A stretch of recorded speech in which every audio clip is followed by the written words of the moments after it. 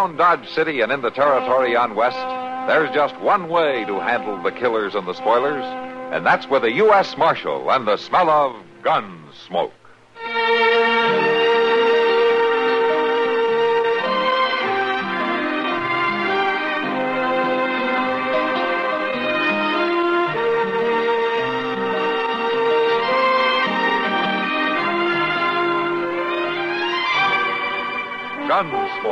Starring William Conrad. The story of the violence that moved west with young America. And the story of a man who moved with it. I'm that man. Matt Dillon, United States Marshal. The first man they look for and the last they want to meet. It's a chancy job, and it makes a man watchful. And a little lonely.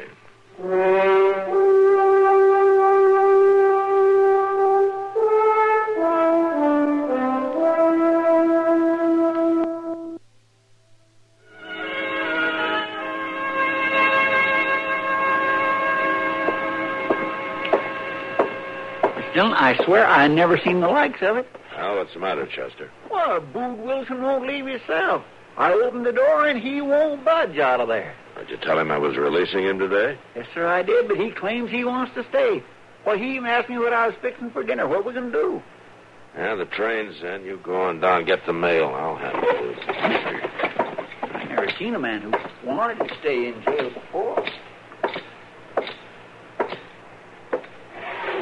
All right, come on out of there, Boot. I'm turning you loose. Oh, it's all right, Marshal. You needn't bother. You like it here, do you? It's the only home I ever had. I see. You and Chester have been good friends to me. Particular Chester. Is that why you keep getting drunk just to get in jail? Well fellow's got to have a friend. A roof over his head, don't he, Marshal? All right, come on, Boot. Let's go. I got my hat under this blanket here. Sure like my hat, Marshal. Yeah. Oh, uh, here's that extra blanket Chester gave me. I tried to keep it from touching the floor. Thanks, Boot. All right, let's go. You say so. You going back home now? I don't rightly know where home is at. Old Pa, he run me off before I was old enough to know where we was living. Said he couldn't feed me no more. Yeah. Ever since then, I've kind of like a tumbleweed going here, there. Guess I'm from all over now. Don't you ever stay put? Well, I'd like to. But people always run me off, just like Pa did. Just when I think I got a friend, they tell me to go. Uh, I'll get you packed for you. Now you're doing it, Marshal. Doing what? Running me off. Now, now, look, Boot, I got nothing for you and nothing against you. I put you in jail four times for getting drunk and almost breaking somebody in two with your bare hands. Now, all I want you to do is to keep yourself out of jail by staying away from those saloons. Here. This all your stuff? I won't stay in Dodge, Marshal. Fellow's got to have a friend where he stays. Look, don't take me wrong, son. It's just that there's Mr. no... Dillon, Mr. Dillon, come here, quick. Oh, what's the matter, Chester? A hangman's come to town. A Hank, what are you talking about? Come take a look. He's all dressed in black, and he's hauling his gallows right along with him. Gallows. Uh, See there? Three yoke of oxen pulling it. Ain't that an awful looking thing? A gallows built right on the back of his wagon. Henry Maples. You know him? I've heard of him. He thinks he cleaned up the border country with that gallows. Oh, but what's he doing here, Mr. Dillon? Well, maybe he thinks Dodge is next. Come on. Friends, friends, if you'll just listen to me a moment, please. I'll answer all your questions at a later time. From what I hear of Dodge, I'll be here for quite a spell. He's getting these people pretty well worked up, Mr. Dillon. Yeah, let's wait here. Just a moment, just a moment. There's plenty of time. First off, I want to know how many murders you've had in this town the last six months. Come on, speak up. Don't be afraid. How many murders? How many of your fellow townsmen have been shot down to die like dogs in the street? How many times has the law been obstructed? You, madam, how many times has a man been killed right here on the streets of Dodge? Well, I, I don't know exactly. How many? Well, six, I guess. Maybe eight, a dozen for all I know. There you are. The good lady doesn't even know. Anywhere from six to a dozen killings. And do you know the answer to this? Do you know it'll stop this bloodbath? There it is. Made of wood and nails and rope, the finest rope money can buy. Man's answer to man's misdeeds. Let me ask you, madam, where are the men who perpetrated these foul killings? Well, I, I'm not sure. They were taken to Fort Hays for trial, and, well, I just don't know. But are they dead? As the law says they should be. Now, the law's not unkind, my friends. The law is just. When I hanged Billy Street, yes, I hanged him, Billy Street. He walked up those steps, those very steps, with a smile on his face. And he told me he'd never owned a new suit. So I stopped the hanging. And out of my own pocket, my own pocket, I bought him a new suit. And before I dropped him, Billy Street thanked me. Now, the law's not unkind, my friends. The law is just. Uh, Maples. Oh, who called my name? I did. Uh, Marshal Dillon. I want you to take your gallows out of Dodge. What became of all those murderers, Marshal? Did they pay you to let them go? Uh, there were six. Two of them were hanged at Fort Hays, and four of them are in the territorial prison. Four men who lived to kill again. I'll give you till sundown to have the gallows out of Dodge City, or I'll burn it in the streets. You'll learn, Marshal. Discouragement by fear. That's the answer to your killings. Now, would somebody give me a hand with these oxen? I'll help you, Mr. Maples. All right, my friend. Take the halter on the lead oxen. Yes, sir. Say, you can just call me Bood, Mr. Maples, 'cause that's my name. Bood Wilson. Well, then lead on, Bood Wilson. Yes, sir. Hiya! Here! Come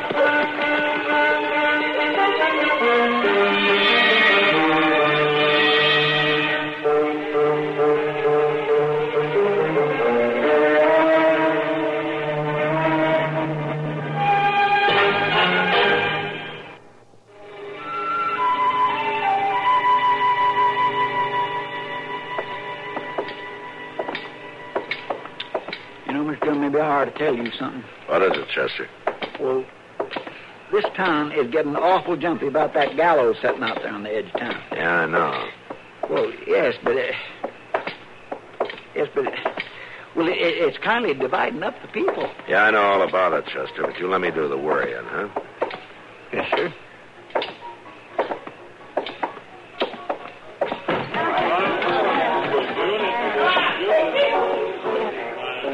Over there at the. Uh-huh, I see her. Oh, Matt. I'm glad you're here. Hello, Kitty. Doc. Yeah, well, it's about time the real law put its foot in here. Maples is sure stirring these people up. Oh? How long's he been here? About a half hour. Showing showing tintypes of men he's hanged and the ropes he's used. He talks about hanging people like he was proud of it. I think maybe he is, Kitty. That gallows of his reminds me of some vulture just waiting to devour somebody. Have you been out there, Matt? No. Well, I rode by there the other day on my way to Mrs. Wiggins. Why, he was standing up on that gallows without even moving. He had a rope strung up, and for a moment I thought somebody was hanging there. Oh, I tell you, I jumped a foot when he moved. Yeah, I'll bet you did. Hey, how did Maples ever get started, man? I'll answer that question, Marshal Dillon. Huh? All right, go ahead, Maples. How'd I get started? It was simple. First, I had convictions. I believed in the law, so I read the law. When Judge Brand asked for a man to carry out his judgments, I volunteered. By the way, Marshal, I was paid a $100 per man. I'll expect the same from Dodge City. Dodge doesn't need you, Maples. It will. Hey, Hangman. I want you. All right, Thayer, you're drunk. Put the gun away. Maples, I've been thinking about you. I had a brother hanged once.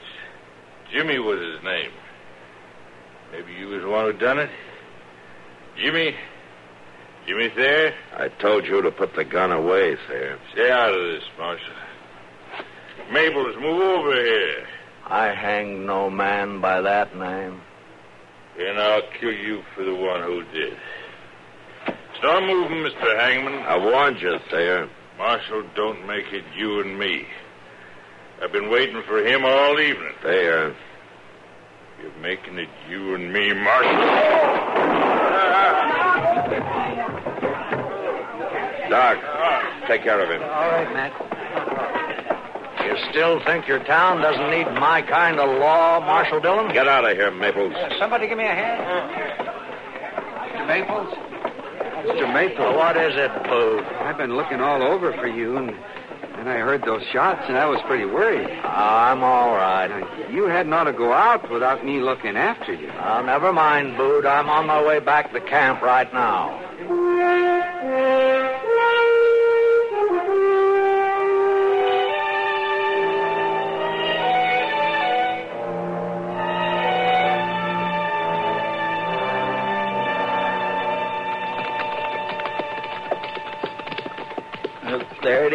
Dillon. Yeah, I see it.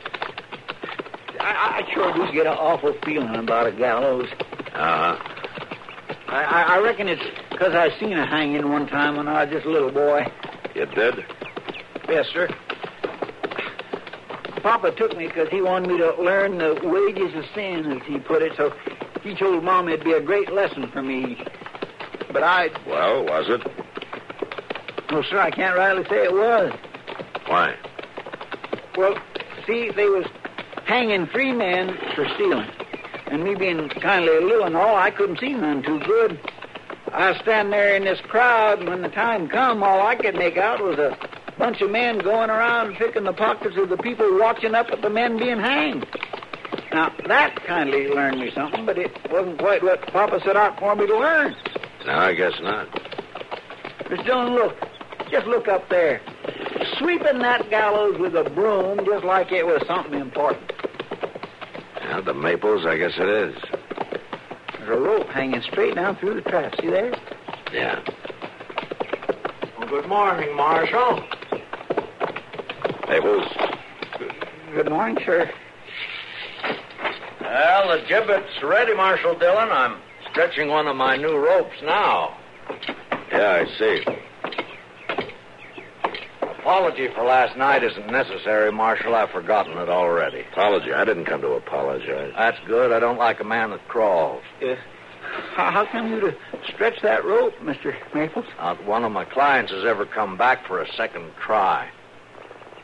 No, I reckon not. The reason is I buy the best inch and a quarter Kentucky hemp you can get, and then I stretch it down to an inch before I use it. What do you use to stretch it with? Now, Bood Wilson's under there. He'll show you. Get ready to untie it, Bood. I can't untie this knot, Mr. Maples. Chester, go down and give him a hand. Huh? Yes, sir. You see, Marshal, I got a 200-pound bag tied on the rope. I'm not interested in that, Maples. Oh? The businessmen in town told me to see that you leave Dodge City permanently. You and your gallows. But why, Marshal? Dodge needs me. They don't think so. And neither do I. But the law, what about the law? It must be upheld. It is being upheld, Maples. Your kind of law might have been all right a few years ago in the border country, but not in Dodge. Murderers must be hanged, Marshal Dillon. There's no other answer. I'll give you till tomorrow morning, Maples. Hello, Marshal Dillon. How are you, Bood? You staying away from the liquor? Yes, sir. Good. You see that you do. All right, come on, Chester. Yes, sir. Mr. Maples, I heard how he talked to you. I wasn't friendly like. You've been good to me. You let me help you. I brought the law before. I can do it again. Mr. Maples, I was saying I'd like there to. must be a way. Mr. Maples, Huh? maybe I can help. Oh, you, Bood? Yes, sir. Yes, maybe you can. Bood, I want you to go to Dodge City with me tonight. Will you do that? Mr. Maples, I'd do anything for you.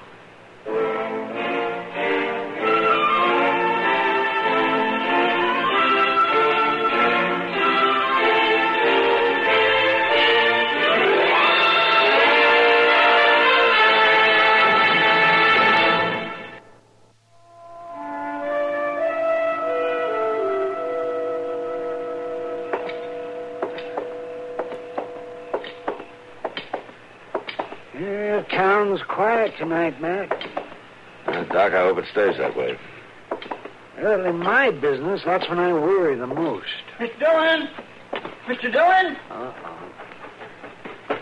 Yeah, what do you want, Chester? Miss Kitty sent me after you. Bood Wilson's about to kill a man at her place. What? Well, come on.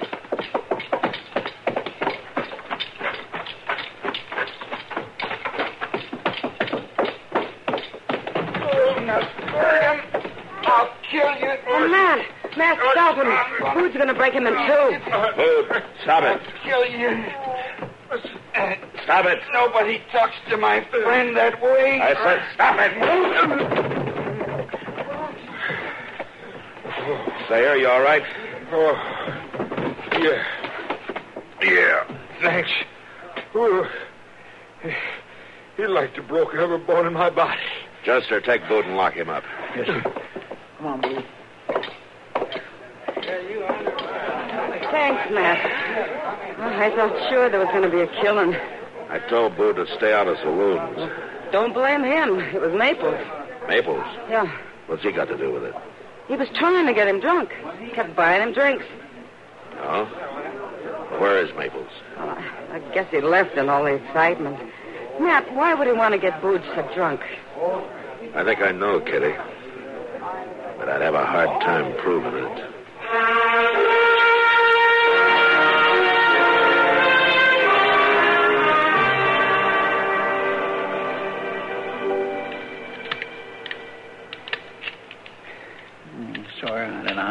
Dillon gets these guns so dirty. Just look at that. I'm going to have to practically... Good morning. Uh, uh, hold, Mr. Maples. Is the marshal here? I want to talk to Uh, him. n- no, sir, he ain't. He, he's off on a business trip that's going to take him all day. Oh, then I'll just have to come back this evening. Uh, while I'm here, I wonder if I could see my friend Bood Wilson. Well, I, I, I don't know. Oh, I won't be a moment.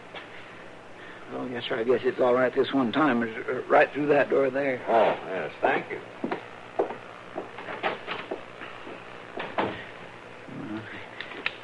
Oh, now, where'd this doggone little thing come from?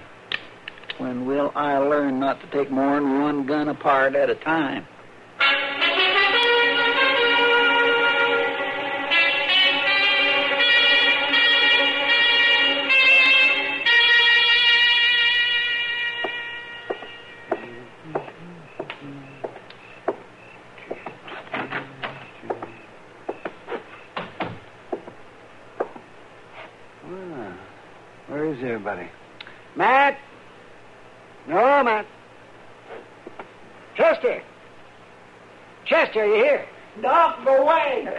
You out back?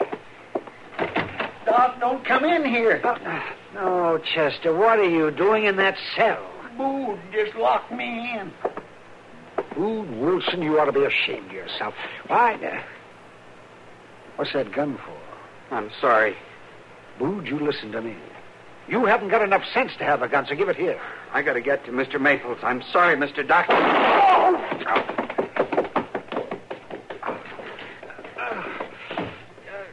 you all right? Chester, I, I need help. Doc, you can't die. Doc! Mr. Dillon! Mr. Dillon! Anybody? Doc's been shot! Help!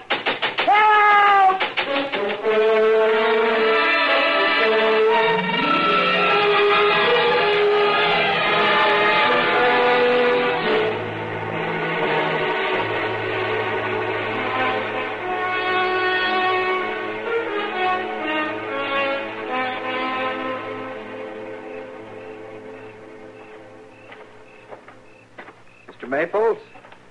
It's me. It's Bood Wilson. Come up here, Bood. Well, how come you're on the gallows, Mr. Maples? Ain't you ready to go? Come here, Bood. You waited. Like you said, didn't you, Mr. Maples? Did you use the gun I gave you? We better hurry. They'll be after me. I asked you if you used the gun. I done what you told me, Mr. Maples. Bood, listen to me. You still have the gun. Yes, sir. Right here. Give me the gun, Bood. Well, sure. There. It's been fired. Did you kill anyone? I used it, like you said. Dude, I asked you, did you kill anyone? Well, that doctor man, he came in and I shot him. You know what I have to do to you now, Bood. You said you was my friend. You gave me the gun so I could come back to you so we could go away together. That's what you said. But you've killed now, Bood. Don't you understand? You've broken the law. Bood Wilson, I find you guilty of murder in cold blood. And for your just punishment under the law, I sentence you to hang by the neck until you're dead!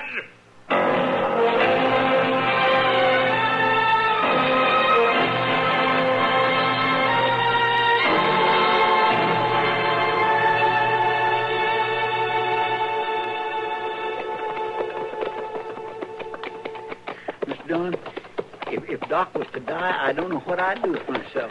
He's not going to die, Chester, but you can be awful glad I came back as soon as I did. Yes, sir.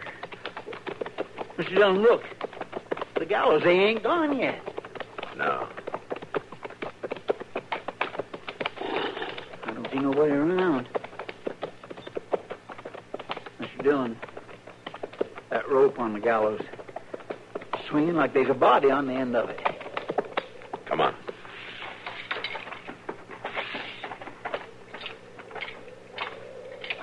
It's a man.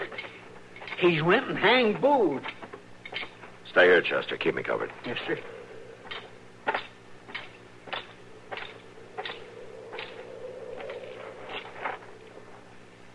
Chester, come here.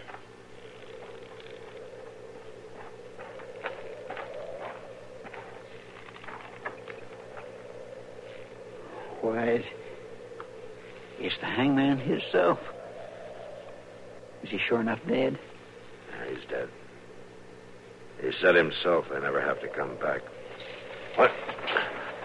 No need to shoot, Marshal. I ain't giving trouble. Did you do this, Boot? I done it. Why? Well, he throwed a fit. What kind of a fit? When I come back from Dodge, he asked, did I kill a man? I told him I had, that doctor man. And that's when he threw a fit. What did he do? He started hollering law on me, saying how he was going to have to hang me for that killing. It was either me or him. Boot, he gave you that gun just so you'd kill a man, so he could have a hanging. Prove that Dodge needed his kind of law. Oh, no, you're wrong, Marshal. Something just made him crazy for a little while. Like happens to me when I drink liquor. He was going to take me traveling with him, Marshal. Now, you're wrong about Mr. Maples. He was the best friend I ever had.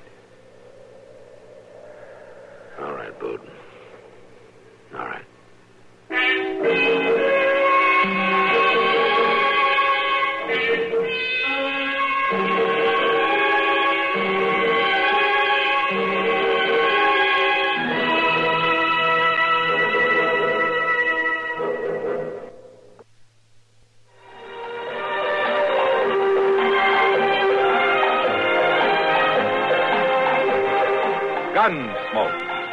Produced and directed in Hollywood by Norman Macdonnell, stars William Conrad as Matt Dillon, U.S. Marshal. The story was specially written for Gunsmoke by Tom Hanley, with editorial supervision by John Meston.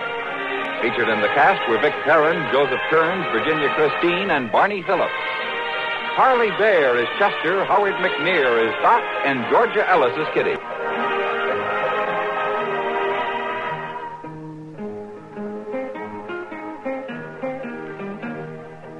is George Walsh inviting you to join us again next week when CBS Radio presents another story on Gunsmoke.